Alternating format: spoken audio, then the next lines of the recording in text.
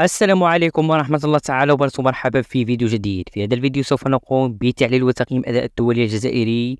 رامي بن سبعيني مع فريقه بروسيا دورتموند ضد فريق بروسيا مونشنغلادباخ بطولة الدوري الألماني في الجولة الثانية عشر في لقاء السبت. قبل البداية أتمنى منكم لا تنسى الاشتراك like لفيديو سلوكاكو جديد وينطلق على بركة في التفاصيل أكثر. رامي شارك أساسي ولعب 90 دقيقة بالتمام والكمال في لقاء القمة على مستوى البوندسليغ في يوم السبت. تحصل على تقييم سبعة كتقييم على أدائه وعلى مردوده في لقاء اليوم. للأمانة قدم مستوى كبير وظهر بصورة ممتازة إحصائيات في المباراة الآتي. على المستوى الدفاعي شتت الكرة ثلاث مرات أما الاعتراضات الناجحة ثلاث مرات. التدخلات ناجحة بنسبة 100% كسب الالتحامات الهوائية بنسبة 5% والالتحامات الأرضية بنسبة 67% على المستوى الدفاعي إحصائية ممتازة وجيدة وكان فعالا دفاعيا. وكرة أن رامي السميني يتميز بالقوة الدفاعية والصلابة والتركيز طيلة المباراة هذه نقطة إيجابية للاعب الجزائري.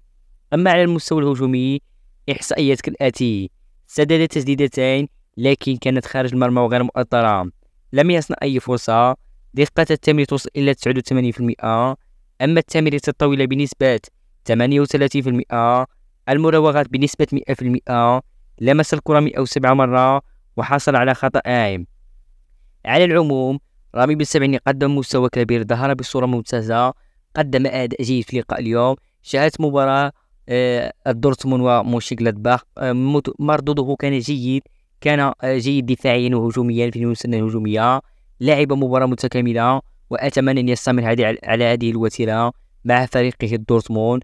للأمانة اللاعب في المباراة الأخيرة قبل التوقف الدولي كان على مقاعد البدلاء ولم يكن يشارك أساسي في مباراتين لكن حاليا عاد إلى الأساسية وعاد إلى التشكيلة الأساسية ليكون رمز من ركائز الدورتموند هذا الموسم إن شاء الله. لا تنسى الاشتراك like الفيديو سوكاكو جديد وإلى اللقاء.